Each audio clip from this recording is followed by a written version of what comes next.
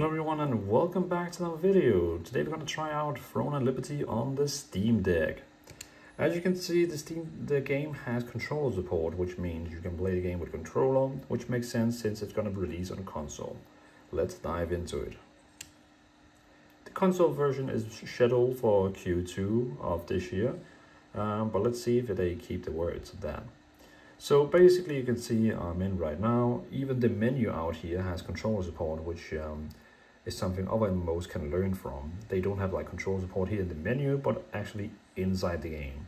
So you can see we can basically select a character, we can delete a character, we can press new game, but I'm just gonna click on, hold down A to log on into my character.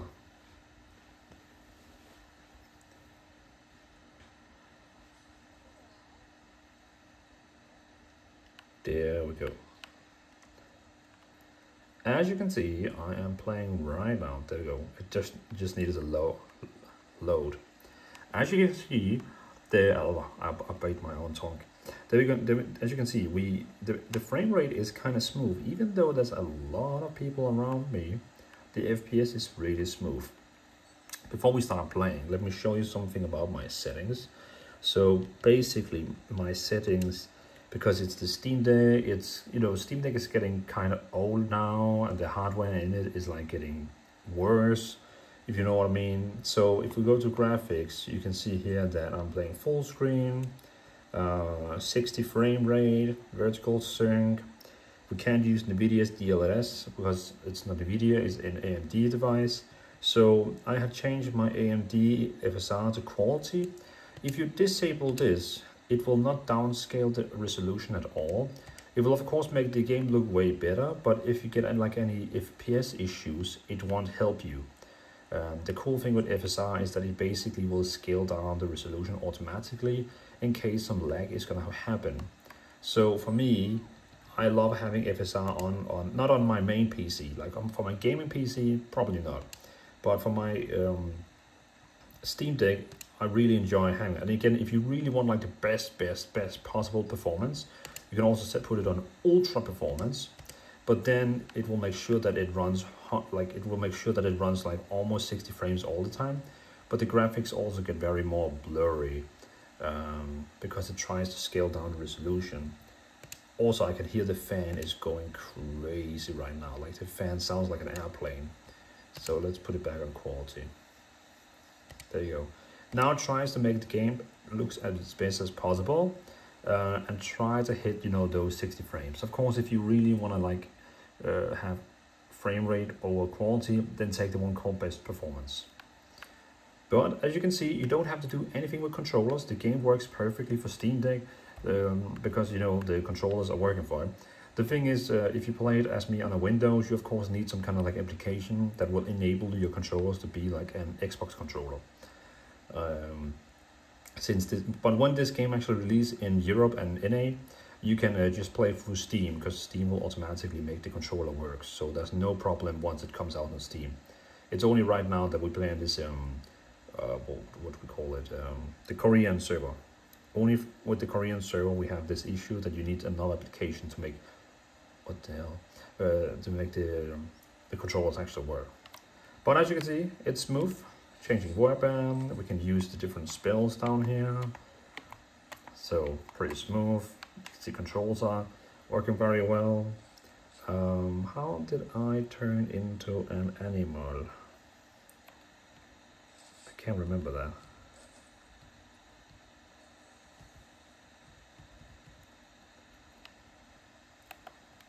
Oh, there we go. I had to click on the controller. The controller itself.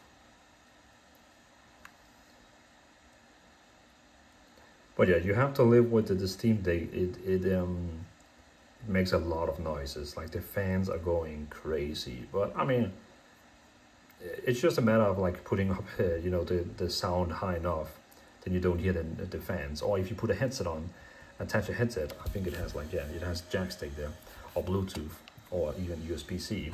If you just like give it a headset, you won't have any problems. Alright, let's try and find some combat.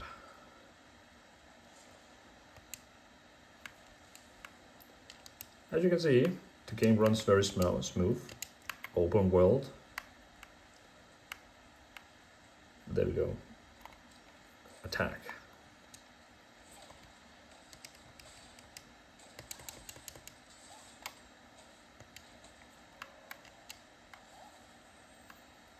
And we can see it, it has a bit lag spikes so we, we could we could you know we, we could go in here and say hey I want ultra performance.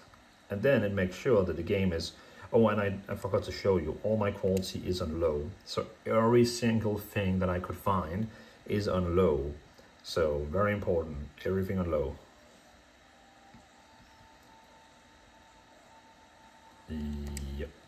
So now we have it on ultra performance. So it ignores quality, but it basically just makes sure that the game will run smooth. If you want double the amount of uh, battery time, uh, enable 30 frames only. That will give you way more battery time. But you can also see that the game is is kind of like locked now. Well, I'm actually not sure actually, it still feels like 60. But if it actually works, um, 30 frames should give you so much more battery because 60 frames is just way more heavier for the device. But it didn't really even feel like it changed. Uh, I think it did, because now it feels way more smoother.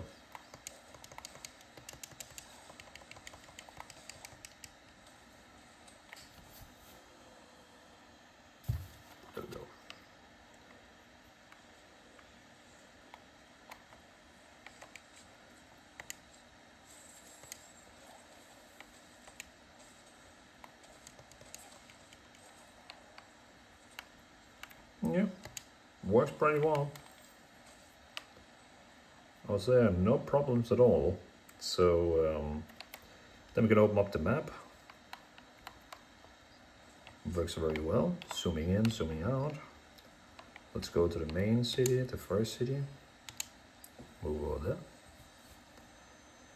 So again, I mean, the, the purpose of this video is basically just to show you that it's actually possible to play this game on a Steam Deck if you want to know how I did it, you know, um, I have a I have a guide on how to play on Korea server. It's basically the same thing, just on the Steam Deck. You know, you install the VPN, you install the launcher, you log in with the account, and basically play. Um, but again, it has to be running Windows because this would not work on the Steam OS with, with with the VPN and all that. So yeah, I mean, pretty cool nothing really. And again, I mean, if we tried, let's see, let's try something fun. Let's try going to quality. And uh, so it recommends low. Let's try say high. And let's see how that goes. Because the game is of course to look way better. Wow, okay, you could just see the background, how much better it looks. But yeah, look look at the frame rate it is it looks stunning like the game looks so much better now but yeah it doesn't like that. We need a bit better handhelds for doing stuff like that.